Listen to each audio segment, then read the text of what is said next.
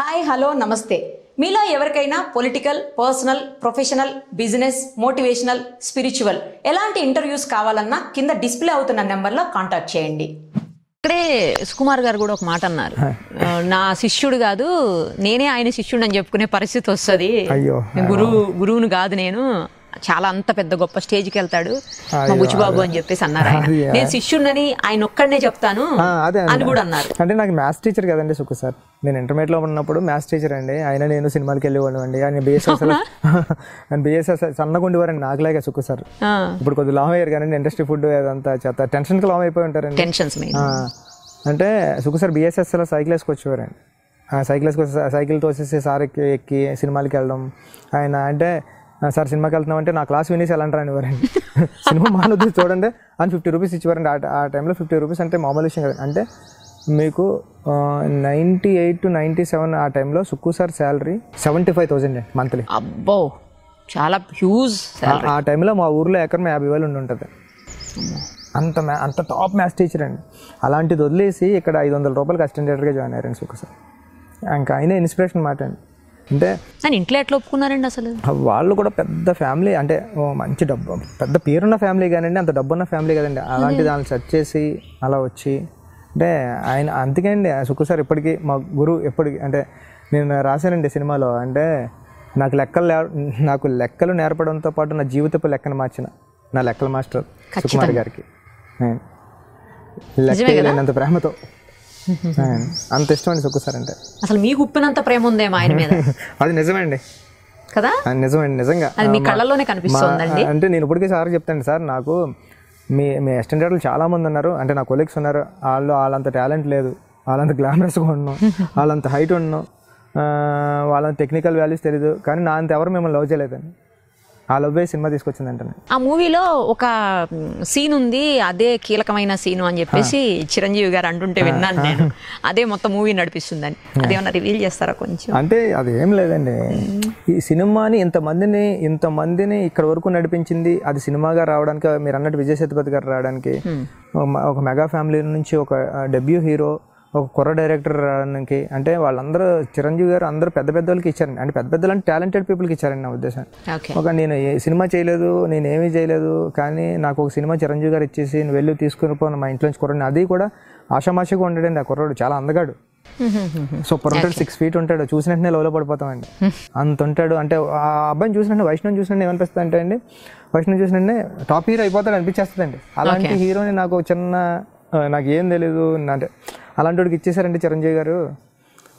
ఇచ్చేసారంటే కారణం ఈ కథ అండి. అది రప్పిస్తుందండి అంతే అండి అది అది అది అమ్మాయి వైపు నుంచి ఉంటుందండి అబ్బాయి వైపు నుంచి ఉంటుందండి. అలాంటి కథ చిరంజీవి గారు ఇది నువ్వు చేస్తే బాగుండు అని చెప్పారు కాబట్టి అండి సినిమాలో చూస్తే. ఓకే. యాక్చువల్గా మీకు ఎన్టీఆర్ గారు అంటే చాలా ఇష్టం అని నాకు తెలుసు. కదా? కానీ మీరు ఎందుకని మెగా ఫ్యామిలీ నుంచి హీరోని తెచ్చుకున్నారు? అంటే నేను ఎన్టీఆర్ గారికి ఒక స్టోరీ చెప్పానండి. లండన్లో ఉన్నప్పుడు నాగపురంతో స్పెయిన్లో షూట్ జరుగుతుందండి. ఇది కాదండి ఇంకోటి చెప్పానండి. ఈ స్టోరీ ఆ రోజు స్పెయిన్లో అనే సాంగ్ షూట్ జరిగేదండి. అప్పుడు సుక్కు సార్ వాళ్ళు అక్కడికి వచ్చారండి ఎందుకంటే రిలీజ్ టైం అయిపోతుందండి. సాంగ్ నా మనసు నీలో సాంగ్ జరుగుతుంటే ఎన్టీఆర్ గారు కూర్చునేవారు. అంటే లాస్ట్ ఇంకా ఆ సాంగ్ అయిపోయి షూటింగ్ అయిపోతుందండి ఆల్మోస్ట్. నువ్వు ఉండరా అన్నారండి సార్. స్పెయిన్లో ఉంటుంటే చలి విపరీతమైన చలి. ఎన్టీఆర్ గారు ఇంకెవరు ఉండేవారు కదండి. రారా వచ్చి అనేవారండి కబుర్లు చెప్పేవారు అప్పటికే బాగా పరిచయం అండి. అంటే ఎన్టీఆర్ గారు ఎంత ఇష్టం అంటే అండి నానపురంతో షూటింగ్ జరుగుతుందండి లండన్లో. లండన్లో జరిగినప్పుడు నేను వెళ్ళి షూటింగ్కి వెళ్ళి ఫస్ట్ డే అయిపోయిందండి. సెకండ్ డే నడుస్తున్నానండి. ఎలా నడుస్తుంటే "ఏ బుచ్చే అని పిలిచారండి. చూస్తే ఎన్టీఆర్ గారు ఉన్నారండి. ఇది ఎన్టీఆర్ మనం పిలిచాడు అయినా అయినా లేకపోతే మనకేమైనా అనిపించిందా? ఫస్ట్ డే ఒక పెద్ద స్టార్ ఒక అసిస్టెంట్ డైరెక్టర్ని బుచ్చి అని ఎందుకు పిలుస్తాడు? మనం అంటే అనుకుంటున్నామో అని మళ్ళీ నడిచి వెళ్తున్నానండి వెళ్తున్నా నడిచి వెళ్ళిపోతున్నాను చూసి. "ఎరా బుచ్చే పిలుస్తుంటే పలకుండా వెళ్ళిపోతున్నా రాకుండా అంటే సార్ అనండి సార్ మీ నాకు మీ పేరు అదే మీరు పిలవడం. సార్? నా పేరు ఎలా తెలుసు సార్ అంటే తెలుసు బై వచ్చి కూర్చో అన్నారండి.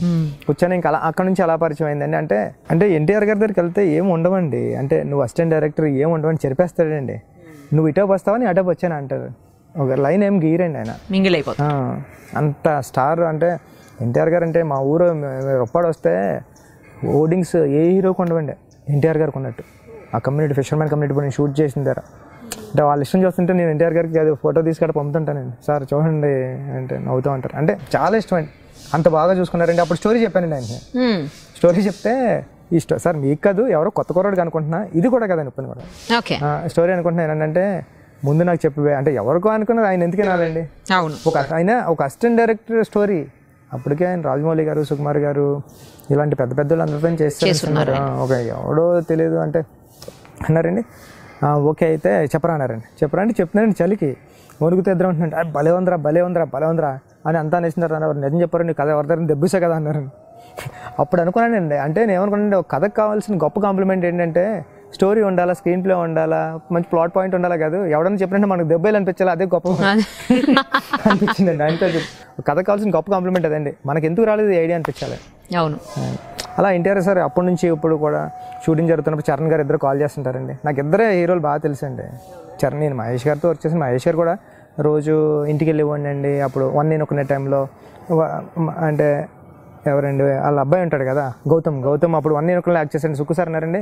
సడన్గా వచ్చేస్తే భయపడతాడరా. ఒక అసిస్టెంట్ డైరెక్టర్లు ఇద్దరు ముగ్గురు వెళ్ళి కొద్దిగా మనం రోజు ఫ్రెండ్లాగా పరిచయం అవుదాం అంటే మహేష్ గారు. మహేష్ గారు క్లోజ్ అండి.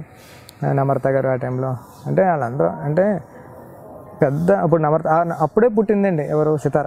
సితార్. జస్ట్ నేను ఇలా లోపలికి వెళ్ళిన తర్వాత భలే ఉంది అంటే క్యూట్ కంటే ఆమె తీసుకొచ్చి చేతిలో పెట్టేశారండి. ఓ.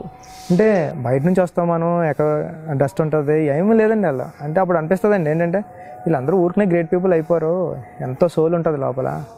వాళ్ళ యాటిట్యూడ్ తోటి గ్రేట్ ఎవరైనా అండి చెప్పారు. సో అందుకని ఈ హీరో అయితే కరెక్ట్ అని యాప్ట్ అని ఈ హీరోని ఎంచుకున్నారు. అంటే నాకు ఇన్స్టాలో ఎవరో చూపించారండి. మరి నువ్వు హీరో ఎత్తుక్కుంటున్నావు కదా ఈ అబ్బాయి బాగుంటాడండి. ఎవరంటే సాయిధరం తేజ్ గారు బ్రదర్ అని చెప్పారండి. చూస్తే భలే ఉన్నాడే అండి.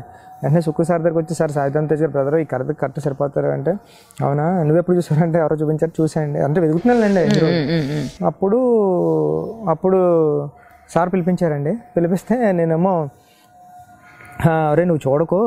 నువ్వు నువ్వు నేను నేను మామూలు క్యాజువల్గా పిలుస్తాను. పిలిచి మాట్లాడతాను. ఎందుకంటే ఇప్పుడు నేను హీరో కట్ చేస్తున్నాను. నువ్వు రా నా అసిస్టెంట్ కట్ చేస్తున్నాడు అని చెప్పి మళ్ళీ నీకు నచ్చలేదు అనుకో ఇప్పుడు ఎంతమంది హీరోని చూస్తున్నా నచ్చలేదు. ఒక- హీరోని చూసి మన నచ్చలేని చెప్పి చిరంజీవి ఫ్యామిలీ నుంచి వచ్చిన అబ్బారా నువ్వు కింద ఉండు. లోబీలో ఉండు. చూడు అక్కడ నుంచి అంటే నేను దొంగచాటిని పెళ్ళి చూపులు చూసినట్టండి. వైష్ణవ్ వస్తున్నాడు. అండి కార్ దిగాడండి కార్ దిగాడు. ఒక అక్కడ ఏదో చిన్న చెట్టు కొమ్మ ఉంటే ఫట్ మంది తెంపాడు. తెంపేలా స్టైల్గా నడుస్తున్నాడు అండి. నడుస్తుంటే అలా చూసాను చూస్తుంటే దగ్గర అబద్ధం కళ్ళు కనిపిస్తున్నాయి. ఇంకా అంటే ఐస్ సూపర్ ఉంటాయి వైష్ణవ్కి. చూసి ఆశీర్వాదం అంటే ఈ సినిమాలో హీరో పేరు ఆశీర్వాదం అండి. Fishermen community. అచ్చు ఆశీలాగా ఉన్నాడు. ఫిక్స్ అని వచ్చానండి అప్పుడు సుఖ సార్ మాట్లాడారు. నా అసిస్టెంట్ ఇలా తీద్దాం అనుకుంటాను మీ స్టోరీ వినండి అంటే అండి. వైష్ణవ్కి నేరేషన్ ఇచ్చానండి. చాలా బాగా నచ్చిందండి వైష్ణవ్కి. అంటే బాగుంది. అంటే కొద్ది షాక్ అయ్యాడండి. బాగుంది. సార్ నేను అంటే బాగుందండి. కానీ నేను డెసిషన్ తీసుకోను. ఎందుకంటే మా మా- నా ఫస్ట్ సినిమా మా మామ చేతిలో పెట్టాను. పెద్ద మామ చేతుల్లోని. మామ ఓకే అంటే నేను చేస్తాను. నాకు నచ్చినా నచ్చకపోయినా మామ ఓకే అంటే చేస్తాను. కానీ నాకు నచ్చింది. నాకు నచ్చిందే పంపుతాను మా అమ్మ దగ్గరికి. నచ్చకపోతే ఇక్కడే స్టాప్ అయిపోతుంది కదండి. కానీ నాకు భలే నచ్చింది కొత్తగా ఉంది బాగుంది అని అప్పుడు చిరంజీవి వన్ వీక్లో చిరంజీవి సార్కి నేరేషన్ ఇవ్వమని చెప్పాడండి వైష్ణవ్. ఓకే. సో ఈ వెంటనే నేను ఓకే చేసేసి. చిరంజీవి సార్ దగ్గరికి వెళ్ళి నేరేషన్ ఇవ్వడానికి ఇక నా ప్రిపరేషన్ చూస్తే మీరు నేను ఎంసెట్ ఐసెట్ ఇలాంటి ఎగ్జామ్ రాసినప్పుడు కూడా ప్రిపేర్ అవ్వలేదు. అంతేనా? అంటే ఎంసెట్ ఎగ్జామ్ రాసినప్పుడు కూడా ర్యాంక్ వస్తే వస్తుందని రాశానండి. ఐసెట్ మాత్రం ఇక్కడ ఎంబీఏ కాబట్టి అది కొద్దిగా ప్రిపేర్ చిరంజీవి సార్కి ప్రిపరేషన్ అండి. బా బా ఒక రేంజ్లో ప్రిపేర్ అయిపోయి అమ్మా, ఇంకా వాష్రూమ్కి వెళ్తే వాష్రూమ్లో వెళ్ళడం వాకింగ్కి వెళ్తే వాకింగ్లో ఉండడం నేను నేరేషన్ నాకు వెళ్ళండి ఇంకా నాకు టెన్షన్ వచ్చేసి దాన్ని భోజనం చేసేవాడిని కాదు చిరంజీవి సార్ నేరేషన్ అంటే. ఎందుకంటే చిరంజీవి గారిని కలిసినప్పుడే నా ఫీజులు ఎగిరిపోతాయని తెలుసండి. ఏం మాట్లాడతాం ఆయనతోని వెళ్ళి కూర్చోనండి వచ్చారండి. బుచ్చిబాబు మంచి మాస్ విజిల్ వేసే కుర్రాడు ఎలా చెప్తారు అలా చెప్పన్నారు. ఉమ్. ఏ ఊరు మీద అంటే పిఠాపురం సార్ అంటే సుకుమార్ గారు అంటే అప్పుడు కొద్దిగా పరిచయం ఉందండి రంగస్థలం టైంలో. రంగస్థలం టైంలో. చరణ్ పరిచయం ఓ రెండు మూడు సార్లు చరణ్ గారు పరిచయం చేస్తే ఆ- చిన్న రాపోందండి ఆయన నన్ను చాలా ఫ్రీ చేశారండి. నేను అంటే చరణ్ నేను ఇంతమంది నేరేషన్ ఇస్తుంటే చూశాను కానండి. చిరంజీవి సార్ నేరేషన్ ఇస్తుంటే ఇప్పుడు విజయ్ సేతుపతి వస్తారు అంటే విజయ్ సేతుపతిలో ఎక్స్ప్రెషన్ పెడుతున్నారండి. ఇప్పుడు హీరో వైష్ణవ్ వస్తాడంటే వైష్ణవ్లో అంటున్నాడు. హీరోయిన్ వస్తుందంటే ఆయన కళ్ళు హీరోయిన్ వస్తుందంటే హీరోయిన్ ఏం ఎక్స్ప్రెషన్ ఇస్తుందో ఆ కళ్ళు ఇస్తున్నాయండి చిరంజీవి గారి కళ్ళు. అప్పుడు అనుకున్నానండి అప్పుడు అనుకున్నానండి ఏ కదన్నా చిరంజీవి సార్ చెప్పాలి. అంటే ఇన్స్పిరేషన్ మనకు తెలియకుండానే మంచి అంటే భయం అంతా పోయి మనం ఫ్రీ అయిపోయి మనకి మన క్యారెక్టర్లు చిరంజీవి గారు అంటే నేను ఇది ఎవరికి చెప్పలేదండి. మన క్యారెక్టర్స్ అన్ని చిరంజీవి గారిలో కనిపిస్తూ ఉంటాయి. మన మన- నోటంటే ఒక అమ్మాయి వస్తుంది దాని బదులుకి అమ్మాయి ఎక్స్ప్రెషన్ ఇస్తారండి. మన చేతి నుంచి ఇప్పుడు హీరో గారు ఫ్రెండ్ వస్తున్నాడు అనుకున్నాడు అనుకోండి. అంటే అవి పట్టుకుని మనం క్యారెక్టర్ ఇంకా డెవలప్ చేసుకోవచ్చండి ఇప్పుడు హీరో ఫ్రెండ్ ఉంటాడండి అటు తాలింపాడు వస్తుంటాడండి అంటే అవునా? అడు అండ్ ఒక బాడీ లాంగ్వేజ్ పెడతారండి చిరంజీవి గారు. అరే అని అంటే ఇంక అప్పుడు అనుకున్నానండి. ఎప్పుడు లైఫ్లో ఎప్పుడు కథ చెప్పినా చిరంజీవి సార్ ఫస్ట్ చెప్పేసి. మనం- రాసుకోవచ్చు బాగా ఏ హీరో అయినా. సో మీకు అంత క్లోజ్ కాబట్టే ట్రైలర్ని ఎన్టీఆర్ గారితో లాంచ్ చేయించారా. అంటే ఎన్టీఆర్ సార్ అంటే చాలా ఇష్టం అండి. నేను మొన్న ఒకసారి క్యాజువల్గా వెళ్ళానండి. నేను మైత్రి మూవీస్ రవి గారు వెళ్తే అడగడానికి భయపడ్డానండి. ఏమంటారో అంటే క్లోజ్ ఉన్నారు కదండి అడగలేము కదండి. అంటే వాళ్ళకి ఎన్ని ఉంటాయో ఆయన ఏం చేస్తున్నారో చేయరు. కొన్ని చేస్తారు కొన్ని చేయరు. మనకి వైష్ణవ్ నువ్వు నేను అడుగుదాం అంటే వైష్ణవ్ అడుగుదాం సార్ ఒక తారక్ ఖాన్ అంటే నాకు ఇష్టం అనేదండి. కానీ నేను వైష్ణవ్ రాకుండా నేను రవి గారు వెళ్ళాను మైత్రి మూవీస్ ప్రొడ్యూసర్ రవి గారు వెళ్తే సరదాగా కదా చేద్దాం రా ఎప్పుడు ఎక్కడ ఎలా కలితే